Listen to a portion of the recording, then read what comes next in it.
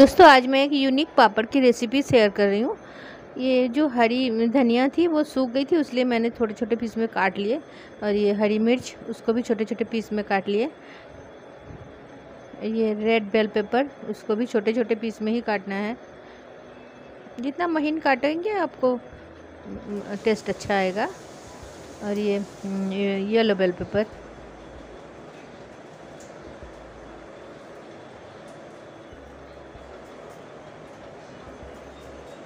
अब आलू को बॉयल्ड आलू को मैंने ग्रेट कर लिया।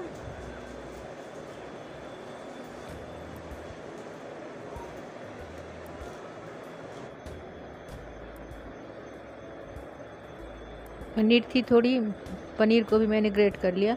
अब मेरे घर में सब लोग पनीर खाते नहीं हैं, इसलिए मुझको दो पार्ट में करना पड़ा, एक आलू का और एक पनीर का। तो इस पनीर में भी थोड़ा सा आलू तो मिक्स किया मैंने टेस्ट के लिए। उसमें थोड़ी सी हरी मटर और जो वो मैंने बेल पेपर वगैरह पीस किया था, उसको थोड़ा सा दिया। बचा के रखना पड़ रहा है आलू के लिए। थोड़े मुझे आलू से बनाने पड़े और कुछ पनीर और आलू मिक्स करके।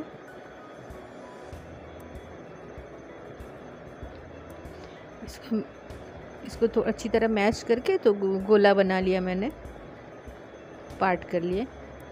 उसमें नमक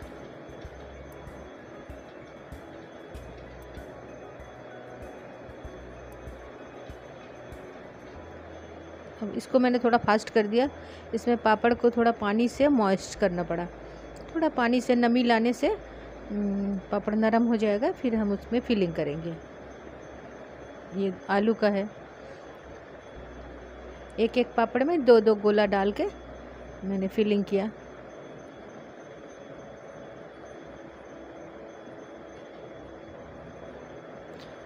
बीच से काट लिया उसको। फिर थोड़ा सा एजेस को बंद करके, जल्दबाजी में, गर्मी में जैसे भी बना, उतना अच्छा शेप नहीं आया। लेकिन ये बहुत ही टेस्टी बनता है। अभी इसमें से पनीर वाला।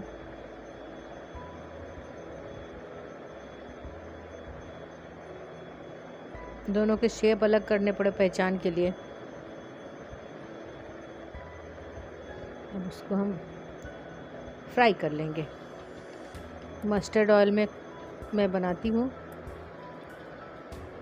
अच्छा टेस्ट आएगा, पापड़ को फ्राई करेंगे। इसी बीच हम मसाला तैयार कर लेते हैं। ये जीरा है। ये साबुत धनिया। और मिर्च मैंने फिलिंग में डाले हैं, इसलिए एक ही हरी मिर्च डाला इसमें। और टमाटर। टमाटर में ज़्यादातर बीज निकाल देती हूँ, उससे ज़्यादा खट्टा नहीं बनता। यहाँ खट्टापन से सबको अच्छा नहीं लगता।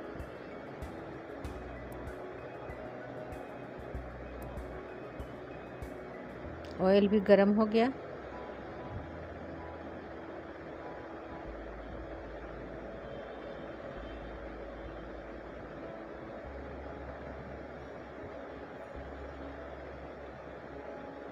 अब सावधानी से एक एक करके उसमें डालना पड़ेगा। थोड़ा चिपकता है पापड़, है ना? गीला हो जाता है तो चिपकने लगता है।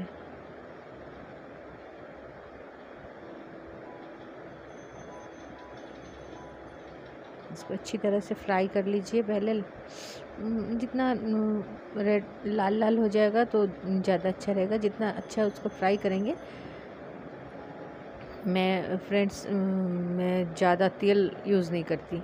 मुझे हर खाना मैं थोड़ा कम तेल से बनाती हूँ क्योंकि गर्मियों में प्रॉब्लम होता है और वैसे भी हेल्थ के लिए ये सबको सूट नहीं करता ज़्यादा ऑयल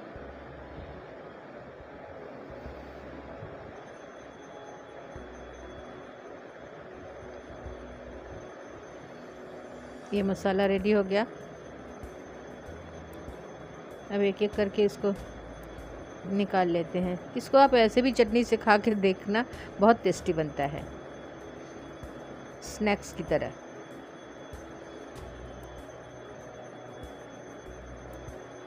और ये पनीर वाले।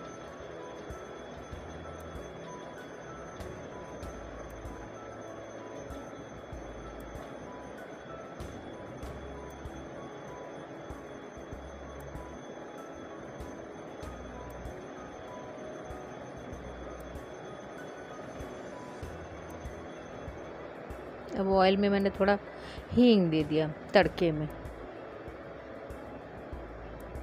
मसाला।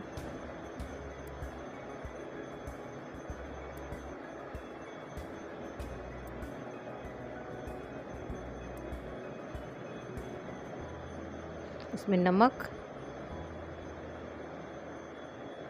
हल्दी।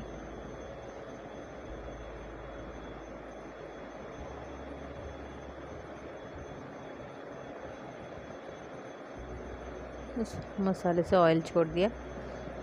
मसाला रेडी अब अपने हिसाब से ग्रेवी बनाइए, क्योंकि ये पूरा ही सोख लेता है। बाद में जब पूरा बन जाता है तो पापड़ बहुत जल्दी पानी सोख लेता है। इसलिए उस हिसाब से करिए, आपको ग्रेवी चाहिए तो पानी डालिए, नहीं चाहिए तो ये वैसे भी अच्छा लगता है। तो मैंने आज बंद कर दिया, खोलने लगा जब। पापड़ को आँच बंद करके ही डालिए, क्योंकि ये पूरा गल जाता है, नहीं तो। बस ये बन चुका है। ये बहुत ही टेस्टी बनता है। आप खा के देखिए, बना के देखिए। बहुत अच्छी रेसिपी है। हमें बहुत अच्छी लगी। धन्यवाद।